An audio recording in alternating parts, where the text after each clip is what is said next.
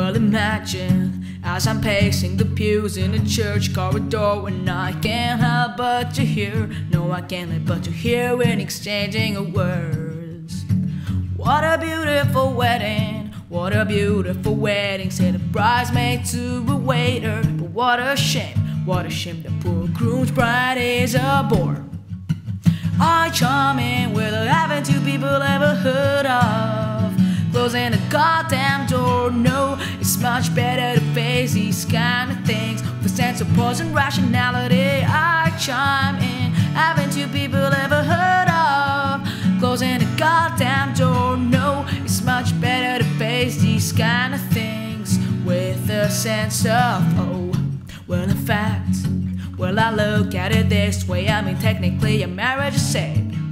Well, this calls for a toast, so pour the champagne. Oh, well, in fact, well, I look at it this way. I mean, technically, a marriage is saved.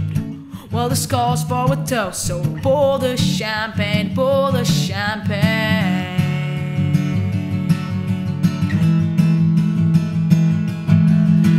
In with a haven't people ever heard of closing the goddamn door? No, it's much better to face these kind of sense of pause and rationality. I chime in, haven't two people ever heard of closing the goddamn door? No, it's much better to face these kind of things with a sense of and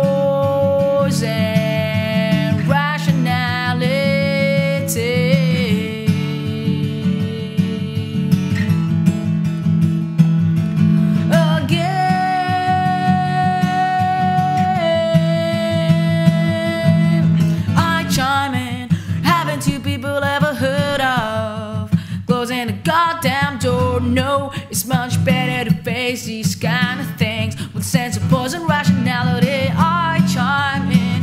Haven't you people ever heard of. Closing the goddamn door. No, it's much better to face these kind of things with a sense of pause.